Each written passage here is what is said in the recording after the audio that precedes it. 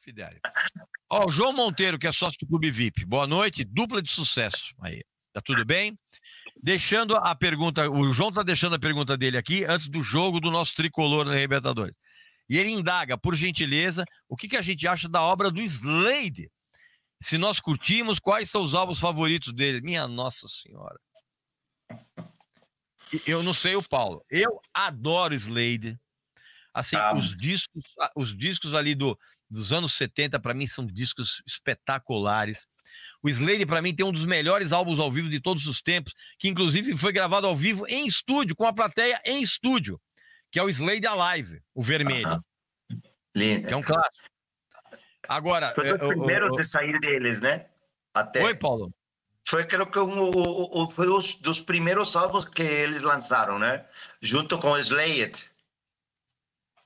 Eu, eu acho, eu, eu, Paulo, se não me falha a memória, o Slade Alive, ele foi gravado em estúdio com uma plateia exatamente durante a turnê do Slade.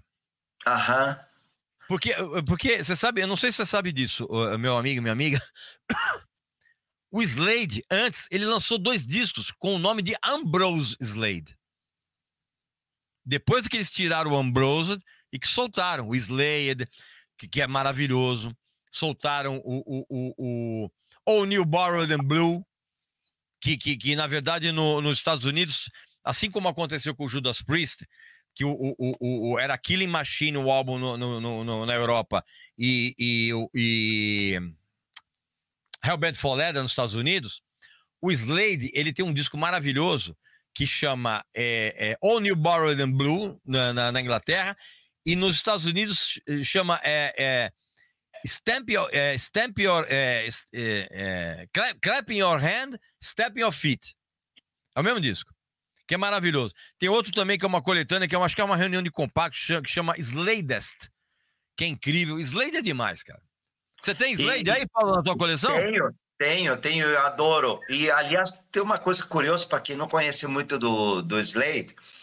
É, a, a, primeira banda que estourou, realmente que chegou no chart de, de bandas de hard rock nos Estados Unidos, que foi o Coy Riot, foi com um cover justamente do Slade, que foi Come Feel the Noise. E teve também a outra. E, a meta, é, e depois Mama We Are Crazy Now. É.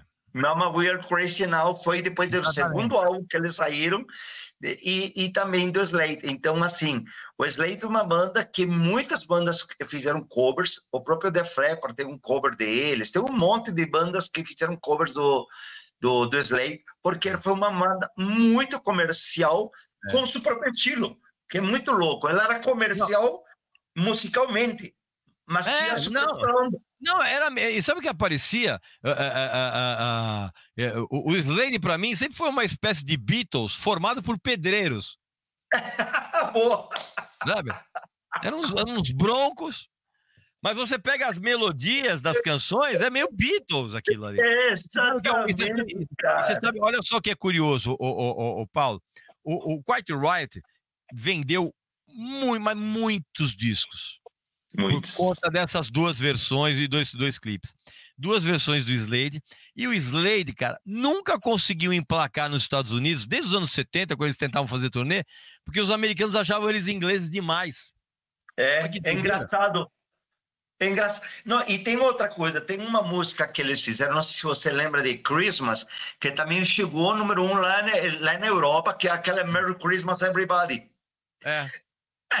Então, eles sempre tiveram músicas assim, muito comerciais, que vários copiaram, e eles nunca emplacaram nos Estados Unidos. Isso ficou mais louco. É. Que é muito doido, né?